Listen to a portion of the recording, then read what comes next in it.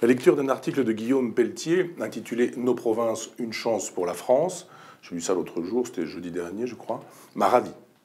Je sais que le trajet et la sensibilité politique de son auteur sont à mes antipodes, mais en touchant au mécanisme politique français jacobin, il fait mouche et me réjouit.